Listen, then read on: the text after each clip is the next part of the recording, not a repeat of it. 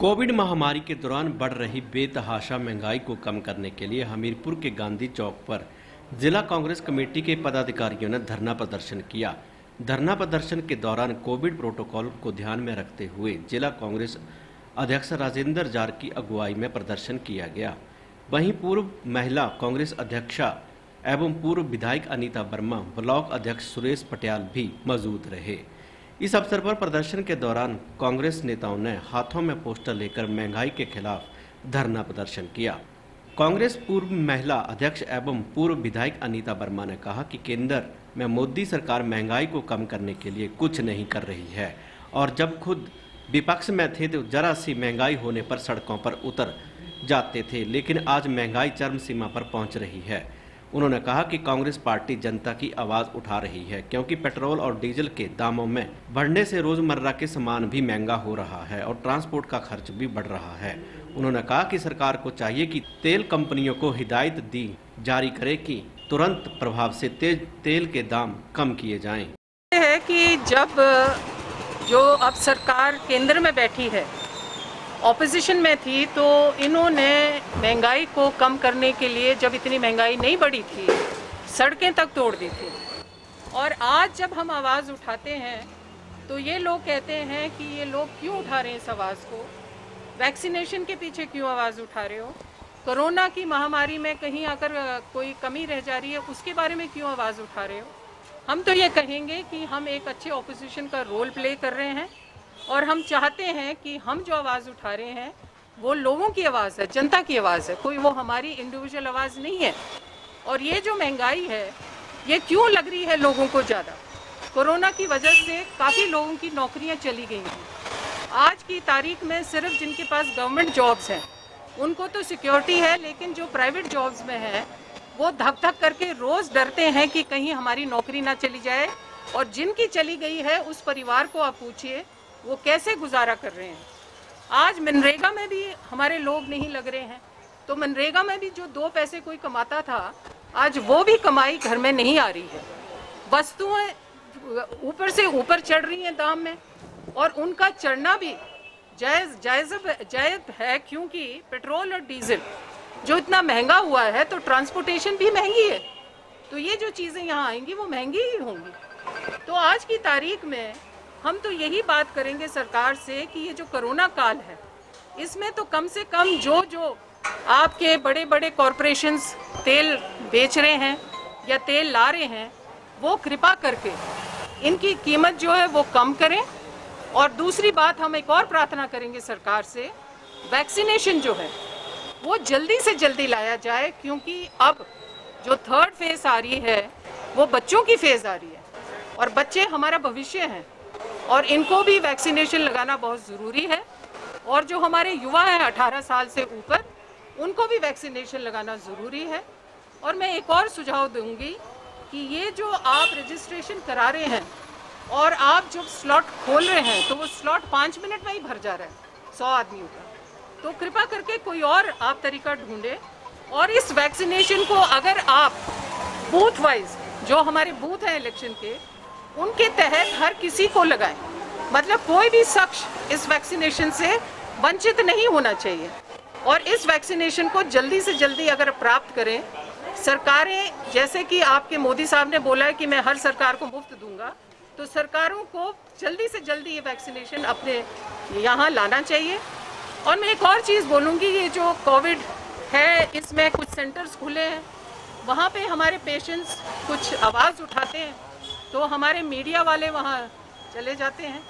तो मैंने सुना है कि कुछ बदसलूकी हमारे जो आ, आ, पत्रकार बंधु हैं उनके साथ भी हुई है। मैं तो यही बोलूँगी कि हर किसी को शांति रखनी चाहिए। अगर मीडिया वाले अपने काम कर रहे हैं तो वो अपने लिए स्वार्थ होकर काम नहीं कर रहे हैं।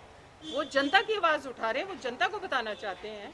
तो जो भी कर्मी जहाँ पर भी हैं अगर मीडिया उनके पास जाता है तो उनको उनके साथ सलूक, अच्छे सलूक के साथ बात करनी चाहिए और उनका व्यवहार ठीक होना चाहिए। क्योंकि आदान प्रदान जो है, वो जनता और आपके जो कर्मचारी हैं, उनके बीच में है, क्योंकि आप तो उनके बीच की कड़ी हैं। तो इसलिए मैं समझती हूँ, हम सबको शांति रखनी है और जल्दी से जल्दी ये जो कोविड का आ रहा है, अगला दौर, उसको कैसे निपटना है, ये सोचना है। और आज हम जो ये आवाज़ उठा रहे हैं, ये आवाज़ उठाते रहेंगे। जब तक ये महँगाई कम ना हो जब तक ये सरकार भी ना सोचे कि हाँ भाई हमें ये कीमतें कम करनी है। धन्यवाद। लेकिन मैम डब्ल्यू ने जब कोविड शुरू हुआ था 2020 में तो 2019 से ही डब्ल्यू एच ओ ने काफ़ी पैसा भेजा था कोविड के लिए खास करके हमारे देश को। और मैं समझती हूँ कि जिस तरीके से वो पैसा लगना था अभी तक वो उस तरीके से नहीं लगा और आज की तारीख में आपके जो स्वास्थ्य है वो हर चीज़ से ऊपर है।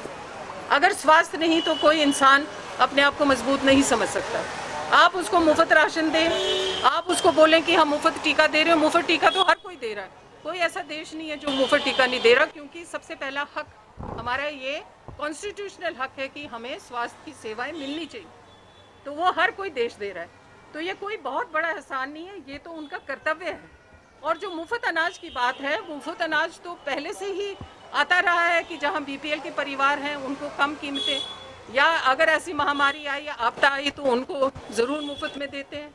और एक और मैं ज़रूर बात उठाना चाहूँगी कि जब कोविड को आपदा के साथ रखा गया है कि ये भी एक आपदा है तो कई परिवार इतने गरीब हैं कि जहाँ उनके काम करने वाला जो व्यक्ति था, उसकी मृत्यु कोविड से हो गई है तो उस परिवार के बारे में भी सोचा जाए।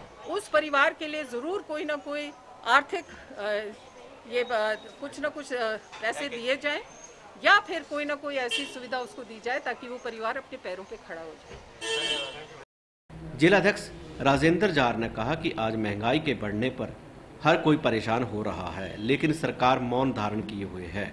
उन्होंने कहा कि रोज़मर्रा के सामान के अलावा पेट्रोल डीजल में भी बढ़ोतरी हो गई है। कोरोना की मार के बाद महँगाई की मार से लोग परेशानी झेल रहे हैं। इसके लिए जल्द ही सरकार को कुछ न कुछ करना होगा। पेट्रोल और डीजल के आसमान छूटे दाम है, कीमतें हैं।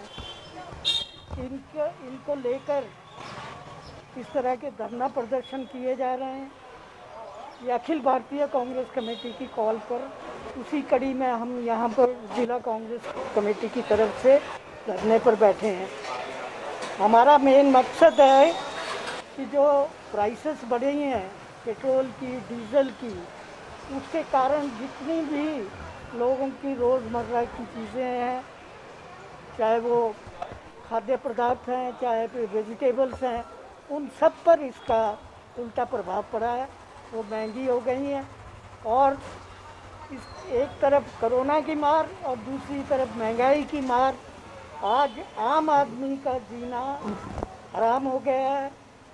उसको परिवार चलाने में इतनी मुश्किल आ, आ रही है कि भूखमरी की नौबत यहाँ पर सरकार ने ले आई है। तो हमारा बार बार ये प्रोटेस्ट होता रहा पर सरकार के कानों पर जू नहीं रहेंगी है। परंतु हम क्योंकि जनता के प्रतिनिधि होते हुए जनता की जो समस्याएँ हैं उनको समय समय पर धरना प्रदर्शन के ज़रिए उठाते रहेंगे और सरकार का विरोध करते रहेंगे और सरकार को मजबूर करेंगे कि वो ये जो प्राइस राइज है पेट्रोल और डीजल के दाम है, चाहे रसोई गैस है, सारी चीज़ें जो महँगी हुई हैं, महँगाई बढ़ी है, उसको कम करे ताकि आम आदमी का जीना आम आदमी सुकून से जी सके यह हमारा आज का मकसद है। साहब अगर आप ये जी हम पिछले कई दिनों से समय समय पर इस तरह के धरना प्रदर्शन महँगाई के खिलाफ और जो जो भी यहाँ की बर्निंग इश्यूज़ है उनको लेकर हम जनता के हक में करते रहे हैं और सरकार के खिलाफ विरोध विरोध प्रदर्शन करते रहे हैं। ये विरोध प्रदर्शन का अगर सरकार नहीं मानती है तो ये सिलसिला जारी रहेगा।